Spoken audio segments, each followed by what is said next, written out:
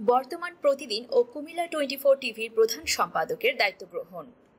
বর্তমান প্রতিদিন ও কুমিল্লা টোয়েন্টি ফোর ডট টিভির প্রধান সম্পাদক আমিনুর হাসান আনুষ্ঠানিকভাবে দায়িত্ব গ্রহণ করেছেন।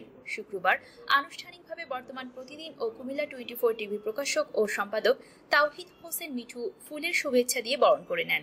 এ সময় উপস্থিত ছিলেন বর্তমান প্রতিদিন ও কুমিল্লা টোয়েন্টি ফোর টিভির জেনারেল ম্যানেজার দেলোয়ার হোসেন মুন্না বার্তা সম্পাদক Rahmat Khandakar Palash, chief reporter Nur Alam Hamim Piyas, Asif Haidar Jisan Raihan Khan Abir, Nazmul Hasan Masud, desk incharge Mehraj Hossain Shimul, Munshi Minhaj এবং উপস্থাপক মারিয়া সুলতানা।